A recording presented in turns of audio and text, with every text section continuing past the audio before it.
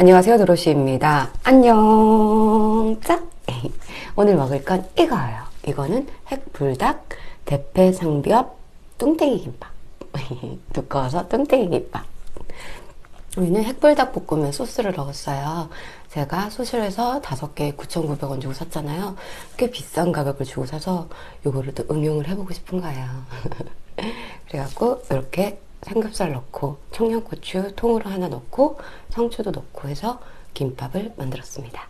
여기는 김치고요. 이건 그냥 물이에요.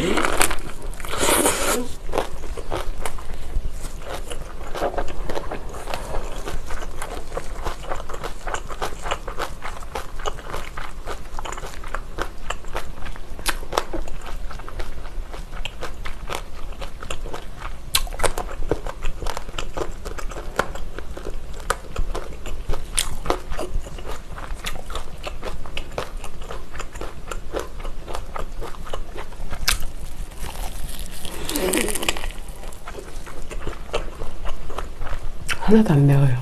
음.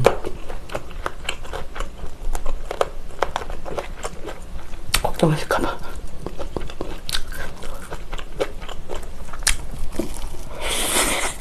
음?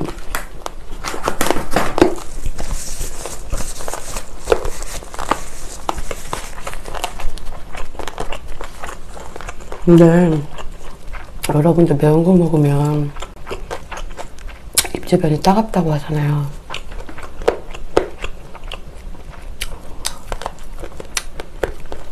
근데 맵보심이 아니라 제 영상들 보시면 아실 거예요. 아무리 매운 걸 먹어도 입술 따가워한 적이 없는 걸. 음, 매운 걸 먹으면 입술이 따갑다는 걸 최근에 알았어요. 여러분들 댓글 보면서 음, 안 따가워요.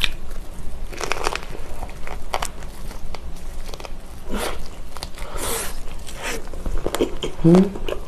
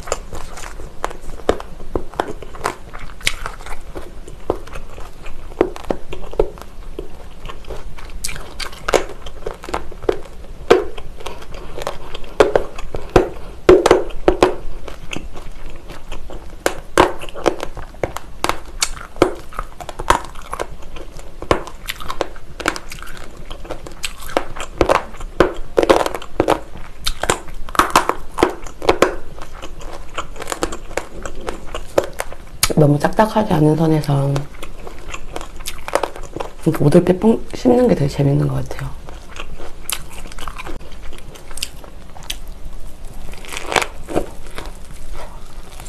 음.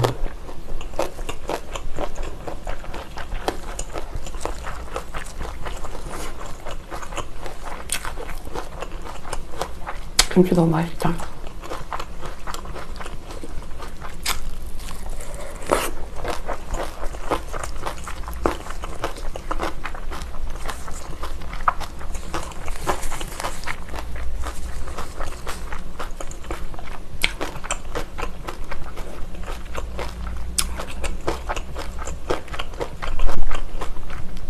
진짜 별거 안 넣었어요. 단무지,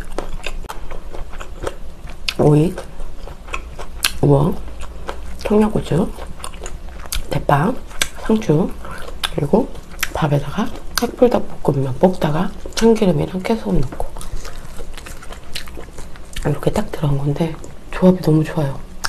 근데 밥이 흑미밥이라서 음, 약간 덜 빨개 보이죠? 괜찮지 않나요?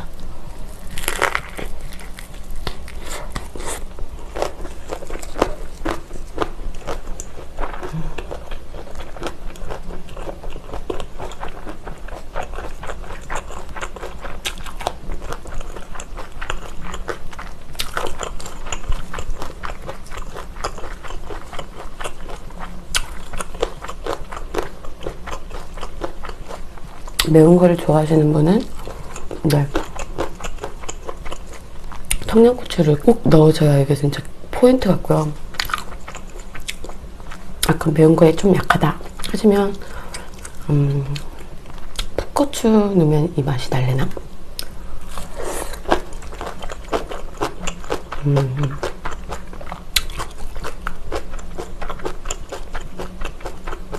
어제 제가 장소촌이란데 닭백숙을 먹으러 갔어요. 누룽지 닭백숙.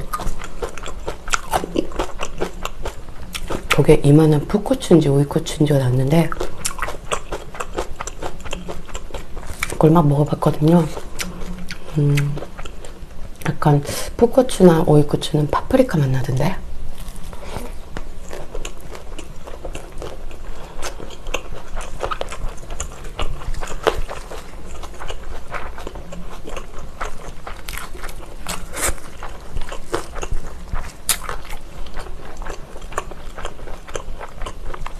저는 청양고추의 짱짱한 맛이 좋아요. 짱짱 칼칼.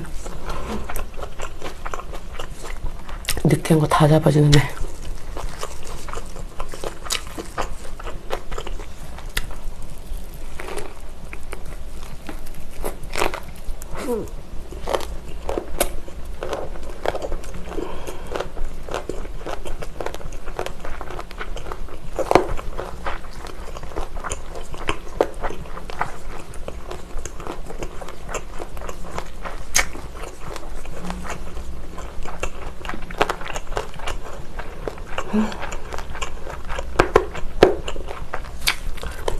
이거 약간 강, 강추할게요.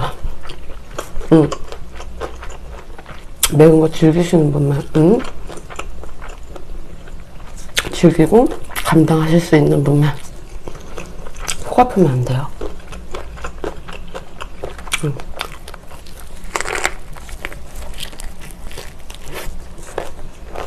음.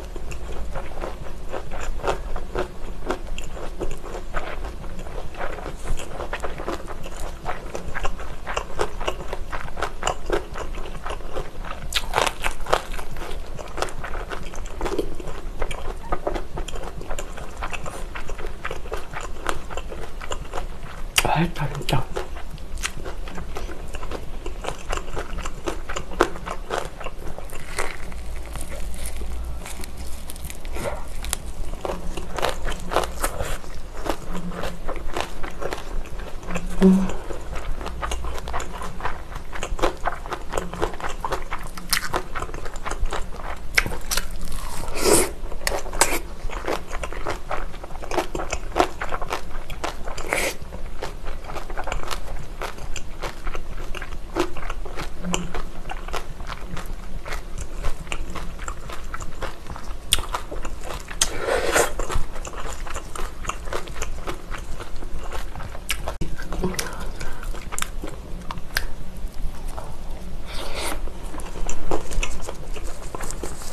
음.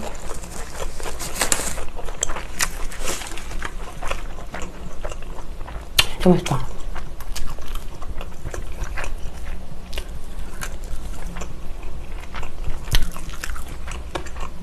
오늘은 틴트 새로운 거 발랐는데 싹 지워졌네요. 음.